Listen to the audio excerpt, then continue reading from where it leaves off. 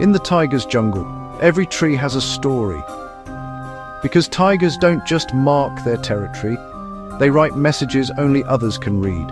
When a tiger sprays scent or scratches a tree, it's not random, it's communication. A chemical message board that other tigers can smell, even days later.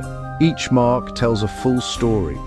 Gender, age, strength, even mood and mating readiness. To another tiger, these invisible notes decide whether to challenge, avoid, or pursue. Scientists found that tigers have scent glands near their tail and paws, releasing complex chemical compounds that act like natural identification cards, a jungle internet made of smell. So, next time a tiger walks through the forest, remember, it's reading stories written in scent and silence. This is Seedha Point, where nature's secrets speak loudest.